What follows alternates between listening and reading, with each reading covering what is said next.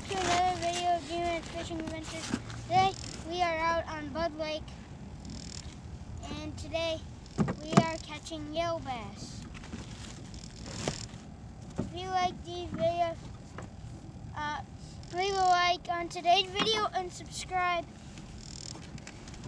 so you can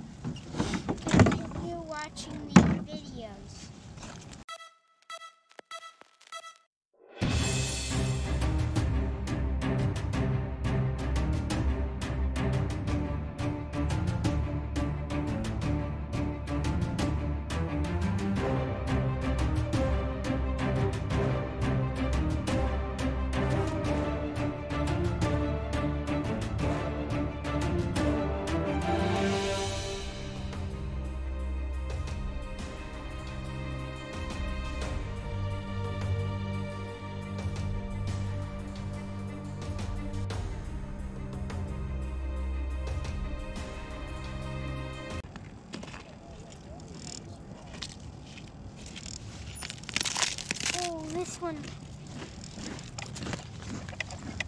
Oh, Dad, I just caught a jumbo. Yeah.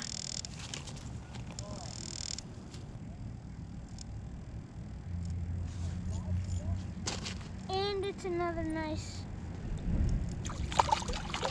Bro, Dad, I just caught a giant. Ah! Bro, guys, look at that. That's just giant. That's bigger than my other big one. Oh, you got a feisty one, Dad. Yeah, this is Olin's pole though. Oh, it's a big one. Yeah. Bro, I just caught a big one too. I just caught a like a, man giant.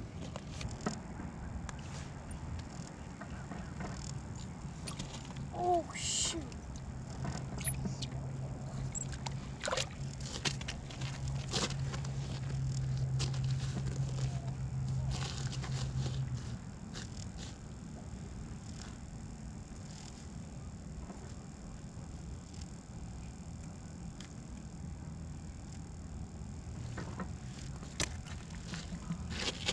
Guys, these are. And there's a whole school of big ones down there. My first one was small, but now look at, I just caught three of them. They're huge.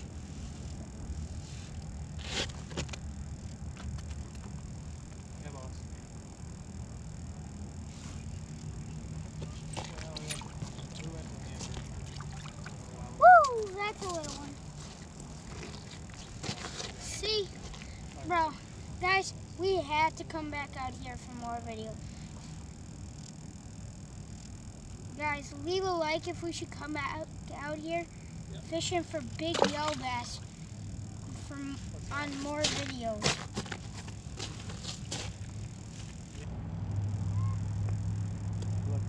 Um, Today, guys, what I'm using is a little spoon, we're putting spikes on them.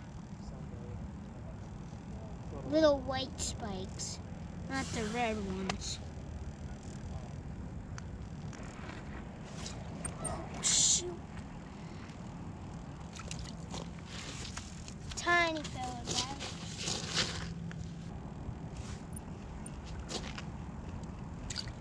Oh, really? Oh, really? Now you are a little bigger than the last time, but you're still going.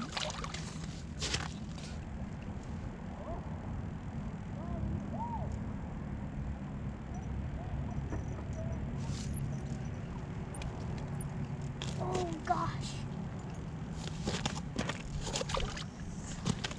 That was actually nice. But he's still a throwback.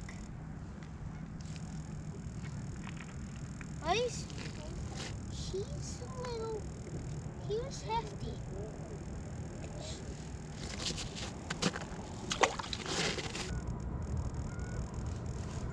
Oh,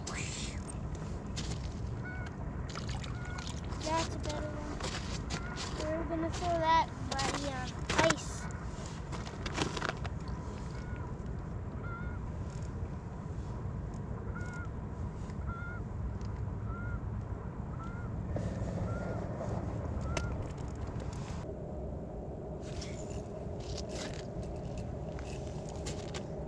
Oh, shoot. Guys, get ready for the smallest one in the whole game.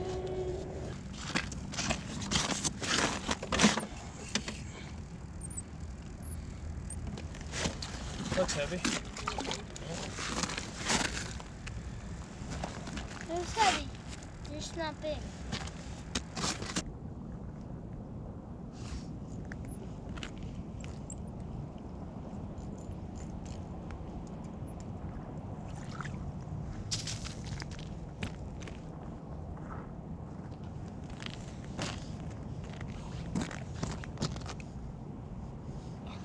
We'll throw her on ice.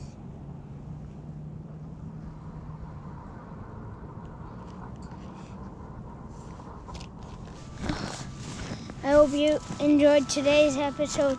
That's going to be it because, you, as you can see, it's getting pretty dark. And we've been out here for like an hour. We've caught, a lot, kept a lot of fish, caught a lot of fish, and have and had fun.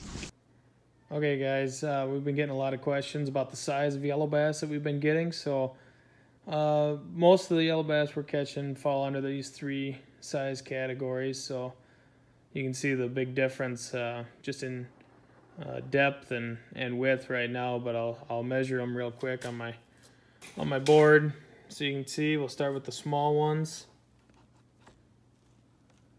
So the small ones are just over six and three quarters, almost seven inches. Uh, this is probably about half of what you're going to end up catching, um, if not more. Sometimes it's more. This one's at seven and a quarter. So this next size category, uh, getting to be really nice, nice eating size. Uh, are these ones over here? So there's two of them about the same, same length, uh, basically same year class and they are that one's just shy of nine inches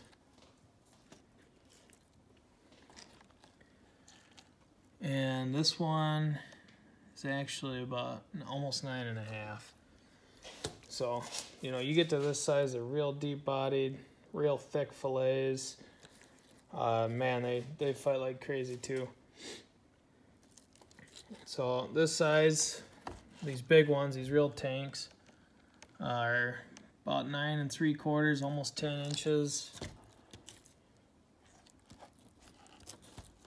And right at 10 inches. So yeah, there's a little little background on, on the fish you catch. You know, like I said, in some places, you know, 75% of them are these six to, or six and three quarter to seven and a quarter inch fish. And that's uh, the ones where they got the biggest year class. So we're, we're weeding them out too. They make make a pretty good little bite-sized nugget, and uh, even though they look tiny compared to the rest of them, they're still still fun to catch and really good eating.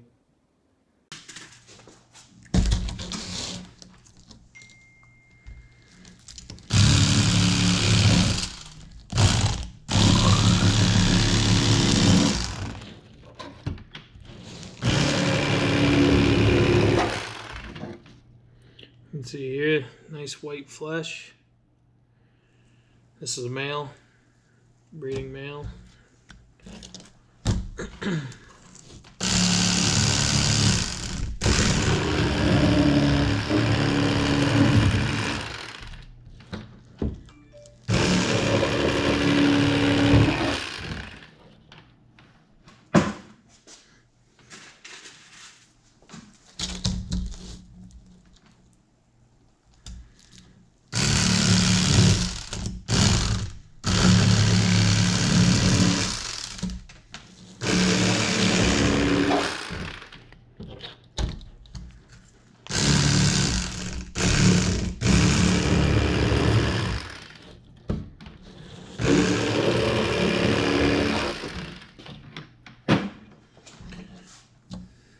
Now I gotta admit, I give these fish away to a lot of people.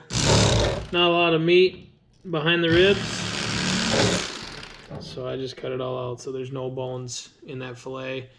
Whoever's getting it, not gonna choke on a bone, not gonna accidentally eat one. So that's just why I do it that way. And then there's so many of them that I'm not too concerned about that little bit of meat.